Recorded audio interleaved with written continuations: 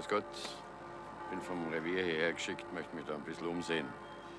Sie wissen, jetzt ist Ferienzeit und da häufen sich die Eigentumsdelikte, erfahrungsgemäß Diebstahl, Einbruch und so weiter. Ich wollte Sie fragen, ob Sie uns ein bisschen behilflich sein können und sagen, welche Objekte da besonders gefährdet sind.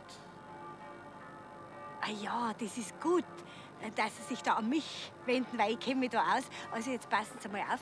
Also da, da sind die Holzer, die sind in Mallorca den ganzen August. Ja, weiß auch nicht, wie Sie sich das leisten können bei der Hypothek, gell, was haben. Holzer? Holzer, wie man spricht. Mallorca, ganzer August. Und da, das sind die Bärmoser. Ah ja, die sind im Schwarzwald. Wissen Sie, das rentiert sich nicht. Die haben ja seit acht Jahren dieselben Vorhänge dran. So. Bei den Höflinger hingegen, ne? Also da wundert es mich, dass sie nicht schon lange eingebrochen haben. Wissen Sie, die schwimmen ja im Luxus. Die haben sogar einen elektrischen Kartoffelschäler. Und außerdem haben sie die Tür vom Balkon offen stehen lassen. Ja, so ein Leichtsinn. Dankeschön. Sie haben mir sehr geholfen. Ja, ist gern geschehen. Äh, man freut sich wenn man auch ein bisschen was zur öffentlichen Sicherheit beitragen kann. Ne? Ja, wir sind auch ganz stolz auf unsere Öffentlichkeitsarbeit. Auf Wiedersehen. Äh. Ah, Sie, Sie, sagen Sie mal, bei welchem Revier sind Sie eigentlich? Mei. Das werden Sie wohl selber wissen, was das da für ein Revier ist. Ah, freilich. Eins. Freilich, so eins. Und äh, darf man Ihren Namen wissen? Schöninger.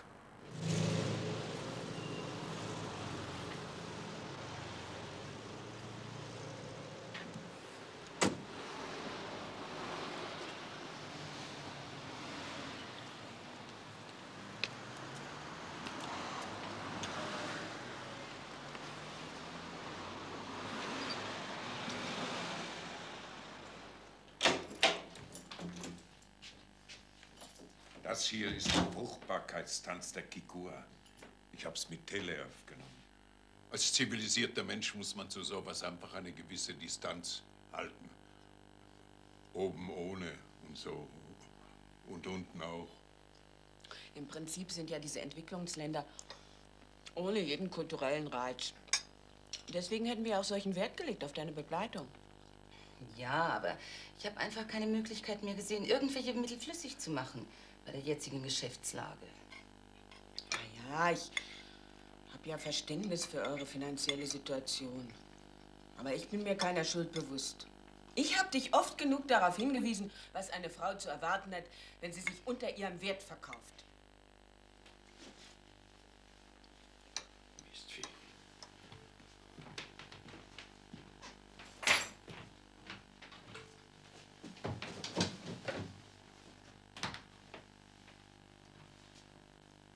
Das war unser Hotel in Mombasa, vom Hof aus. Wir waren da im vierten Stock. In der Touristik fehlt diesen Leuten allerdings jedes Taktgefühl. Ursprünglich hätten wir das Badezimmer teilen sollen mit einem Neger. Einem echten wohlbemerkt, aus dem Busch. Sowas ist einfach nicht tragbar. Ich habe dem Hoteldirektor dann natürlich gesagt, dass das absolut nichts mit irgendwelchen Vorurteilen zu tun hat. Einen deutschen Neger hätten wir ja anstandslos akzeptiert. Guten Morgen. Mahlzeit. Das muss ja eine sehr lange Predigt gewesen sein.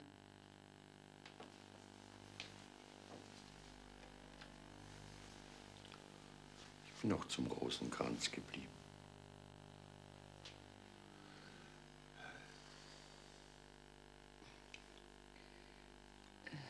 Klaus, die beiden bleiben zu Mittag. Es sind noch Klopse in der Kühltruhe. Ja. Ich rechne für jeden fünf Stück. Soll ich sie gleich einlegen? Ja, das wäre nett. 20 Minuten. Und leicht sieden lassen.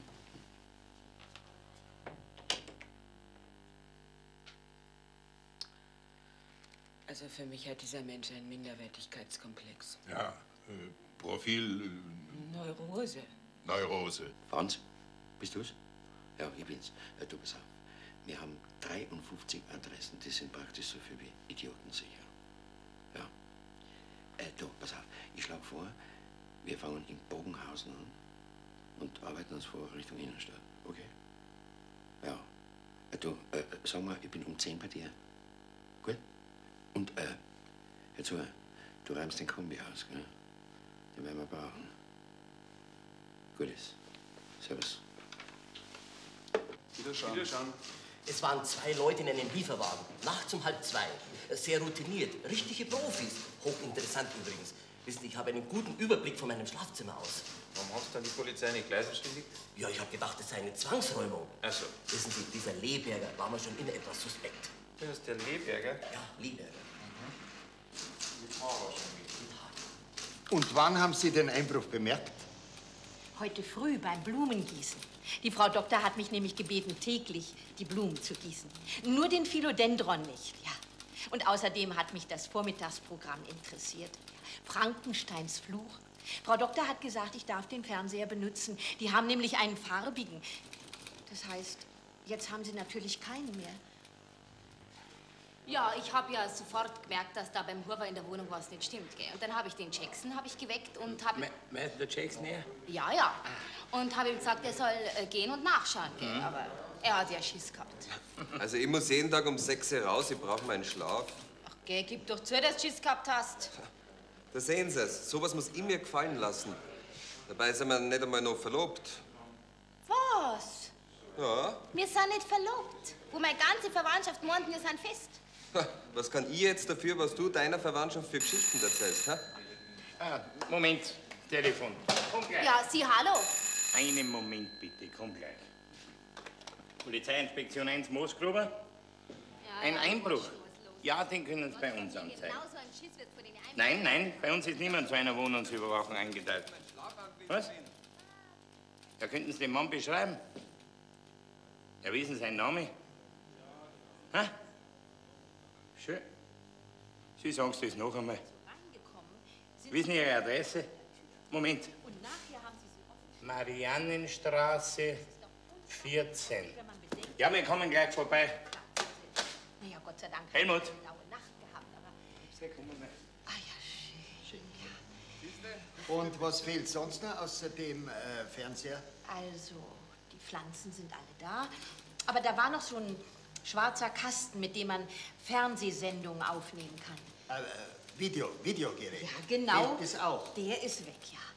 Aber das hat sich nicht rentiert. Nein, nein, weil nämlich die Frau Doktor hat nie etwas Interessantes aufgenommen. Ich, ich hätte was ganz anderes aufgenommen. Kennen Sie die Serie Auferstehung der Leiche? Na, hä? Ah, Ja, aber äh, die wird sicher bald wiederholt, wenn es so schön war. Was ist denn? Sag's ihm. Hm? Sag's ihm. Du, ein Moskauer hat gerade eine Frau angerufen, die hat gesagt, dass gestern ein Polizist sich ziemlich auffällig nach Wohnungen erkundigt hat, wo die Leute in Urlaub sind. Und genau in die Wohnungen ist heute Nacht einbrochen worden. Ja. Polizist? Ja. Ah, da müssen wir nachher hinschicken und schauen, dass wir Namen und Adresse kriegen. Ja, den Namen haben wir schon. Ah, mit dem Namen allein werden wir nicht viel anfangen können. Möglicherweise schon. Wie heißt er denn? Schöninger. Das ist völlig unmöglich. Schöninger gibt's hier nur einen und das bin ich. So möglich. Unmöglich ist gar nichts auf der Welt. Gell, Ihr werdet... Sag mir, ihr werdet doch nicht glauben, dass ich da... Nein, na, Franz, was denn? ich nicht. Obwohl, ich- Ihr seid nette Freunde und Kollegen. ja, obwohl es war vielleicht besser, wenn du sagen wir, jetzt gleich mitfährst zur Gegenüberstellung, dann war die Sache ein für alle Mal erledigt. Einverstanden? Gut. War doch schon einmal. Das hast du auch überlebt. Aber das hinterlässt Narben und Wunden. Also alle Elektrogeräte haben sie gestohlen. Unmöglich.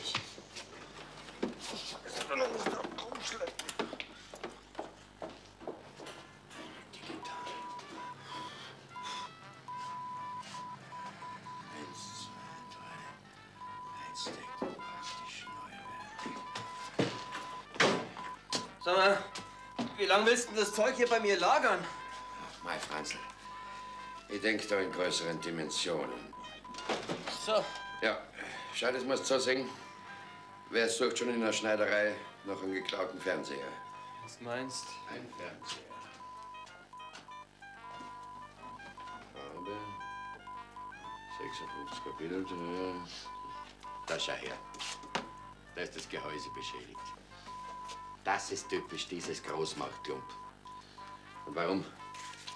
Weil die Leute nicht mehr beim Fachhändler kaufen. Ja, aber rentiert. Rentiert hat sich das Ganze schon, gell? Rentiert. Mehr wie 10.000 bringt es nicht. Was? Ich habe das mindestens auf, auf, auf 30.000 geschätzt. 30.000, wie kommt denn auf sowas? Ja, Wenn, wenn du den Katalogpreis nimmst und dann 50 Prozent abziehst. Woher kennst du die Katalogpreise? Aus dem Katalog. Das, das, das, das ist äh, nicht maßgeblich. So. Du, Franz, hier bin ich der Fachmann. Gell? Ja, wenn du meinst. Videorekorder, VHS.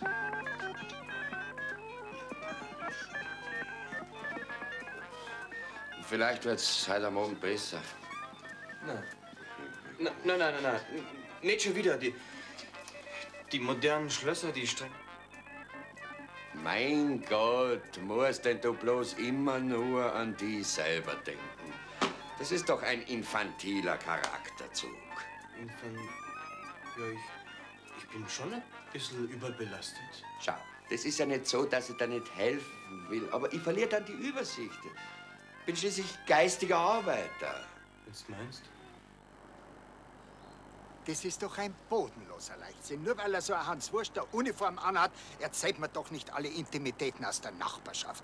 Da lasst man sich doch zumindest den Dienstausweis zeigen. Was nützt denn unsere ganze Polizeiarbeit, wenn sie uns so in den Rücken fallen? Ne?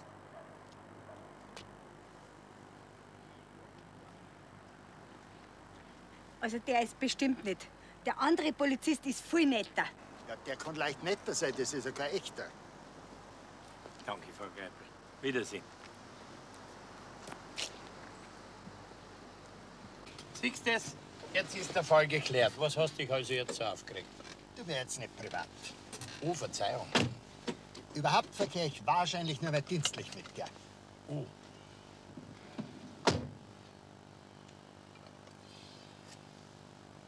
Danke. Bitte? Also eigentlich, Moosgruber, ist es eine ganz simple Methode. Man nimmt sich eine Polizeiuniform zu leihen und fragt unbedarfte Mitmenschen nach ihrer Nachbarschaft aus. Richtig. Und genauso werden wir jetzt ermitteln.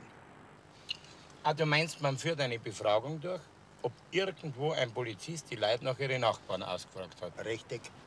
Und dann schaut man, dass man ihm zuvorkommt. Moosgruber, am besten du erkundigst dich bei Hausfrauen, Ladenbesitzern, Rentnern und Hausmeistern. Heute Leute, die gern ratschen. Heute noch? Heute noch? Ich sehe schon strahlende Gesichter bei den Damen.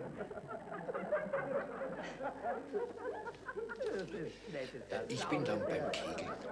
Ja, ja, wo auch sonst. Meine Eltern, äh, sie dürften inzwischen Acapulco angekommen sein. Lassen bitten, dass du gelegentlich nach der Wohnung schaust. Die Schlüssel liegen unter der Fußmatte. Unter der Fußmatte? Das ist aber leichtsinnig. Meine Eltern haben immer gewusst, was sie tun. Sicher.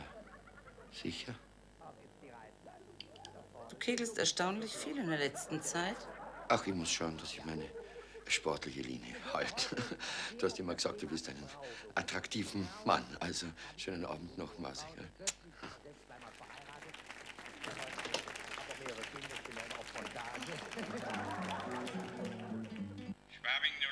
01 von Schwabing 0112. Schwabing 01. Liebigstraße, Befragung negativ. Dattenbachstraße, Befragung negativ. Alexandrastraße, Befragung negativ. Können wir jetzt endlich aufhören? Nein, weitermachen, Richtung Innenstadt. Richtig. Ende.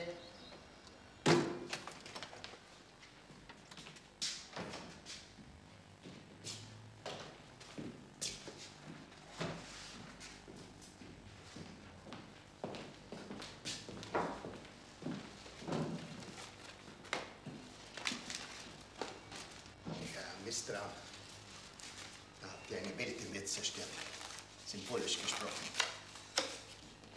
Furchtbar. Reines Rindfleisch.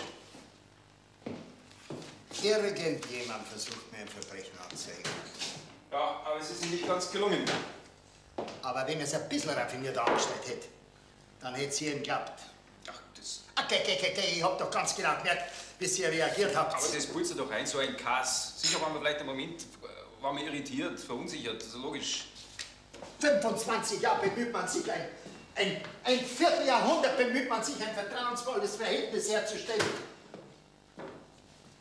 Und da kommt es ein Anruf und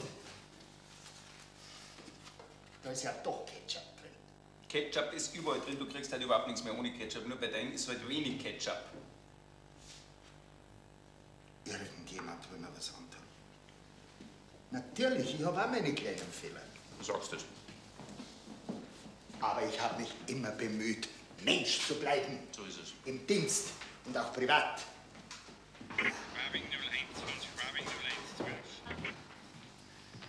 Das ist ein Racheakt.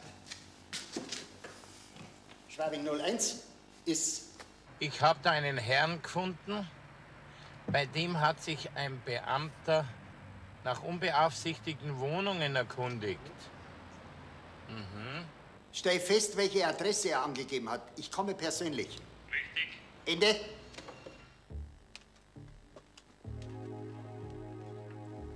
So. Nummer 16. Ja. Da hat aber Licht gebrannt. Was? Wo ist denn da Licht? Ja, jetzt ist es weg.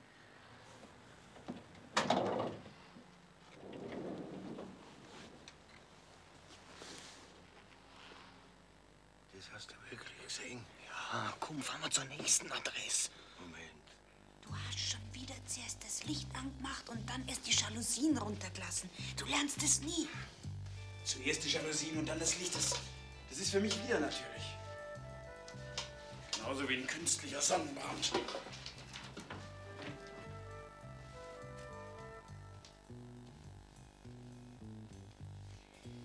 Bangkok ist in den Tropen. Das glaubt dir doch keiner, wenn du da blass zurückkommst. Ich wäre doch gar nicht erst hingefahren. Mir hätte der Deininger Weiher gelangt. Ja, ich weiß schon. Das ist dieser proletarische Zug in deiner Familie. Aber du vergisst andauernd, dass ich aus Kreisen komme, wo man großzügiger denkt. Ach so? Da war aber keiner großzügig genug, dass er dich genommen hätte.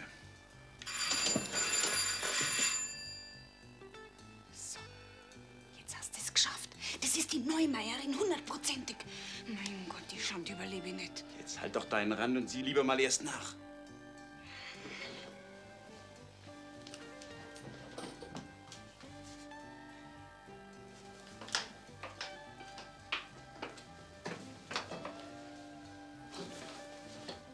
Polizei. Mach auf. Grüß Gott. Äh, Routineüberprüfung von Urlauberwohnungen. Da ist alles intakt. Könnten Sie uns die andere Adresse sagen? Welche andere Adresse? Ja, die andere Adresse. Ach, das ist die Stuttgarter Straße. Gleich da um die Ecke. Es ist uns furchtbar peinlich, aber unsere finanziellen Mittel sind im Moment erschöpft. Und da haben wir halt, naja, äh, da haben wir halt zu diesen Maßnahmen gegriffen. Sie müssen das schon verstehen. Wir haben einen Ruf zu verlieren. Sie hat einen Ruf zu verlieren. Danke, damit ist der Fall für mich erledigt. Du hast natürlich nichts zu verlieren. Du bist der Kleinbürger und wirst der Kleinbürger bleiben. Aber meine Mutter. Meine Mutter hat ja von Anfang an gesagt, du wirst schon sehen, was einer Frau passiert, die sich unter ihren Wert verkauft. Was hat Ihre Mutter gesagt? Das ist die Nummer 6. Das ist die Nummer 16. Da, wo jetzt der Kombi steht. Gehört der Kombi irgendjemand in der Nachbarschaft? Nein, wir sehen das erste Mal. Sie bleiben jetzt besser da. Ja, ich bleibe hier. Bleib stehen.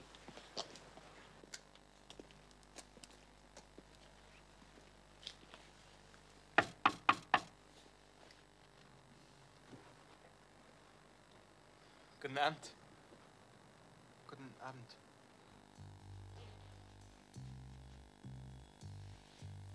Wie viel haben Sie denn für die Anlage gezahlt? Zwei, fünf. 2,5? Das ist überteuert. Ich weiß schon. Aha. Natürlich, was Billigeres hätte ja nicht sein dürfen. Gell? Wert ist es nix, aber schaut noch was aus. Das ist es ja. Das ist ja der Inbegriff der menschlichen Dummheit. Dass man das Äußere wichtig nimmt und die inneren Werte vergisst. In diesem Haus wird nicht mehr behauptet, dass man sich unter Wert verkauft. Sonst könnte man nämlich glauben, dass sie keine Ahnung von wirklichen Werten haben.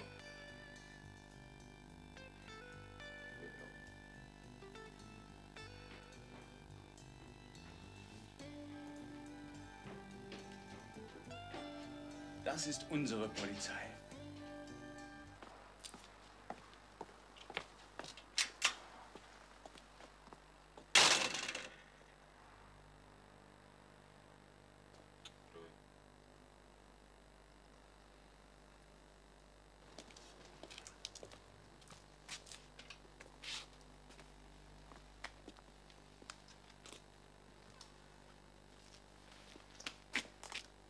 Sehr eleganter Schnitt.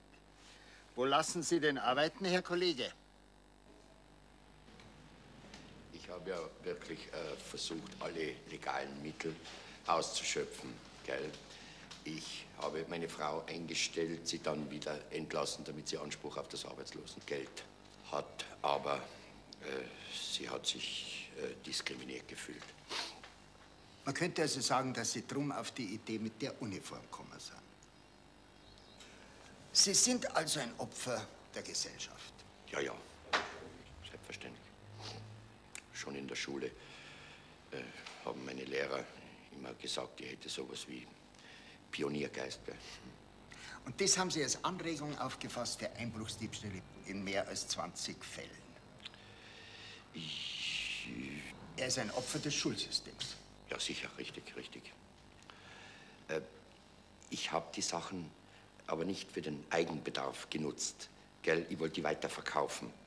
Also ist das ja durchaus im Sinn äh, der Marktwirtschaft. Ah, dann sind Sie auch ein Opfer des derzeitigen Wirtschaftssystems. Ja, ja. Und der Namensmissbrauch, was für Opfer war das? Was für ein Missbrauch? Ja, Sie werden doch zugeben, dass Sie zu Ihren Unternehmungen einen falschen Namen benutzt haben, den schönen Namen Schöninger. Ja, ja das, da habe ich halt den ersten Namen genommen, der mir doch so äh, eingefallen ist. Gell? Ah, und da ist Ihnen ausgerechnet der seltene Name Schöninger eingefallen. Vollkommen grundlos. Grundlos? Äh, ja, da denke ich dann immer an meinen, an meinen Zahnarzt.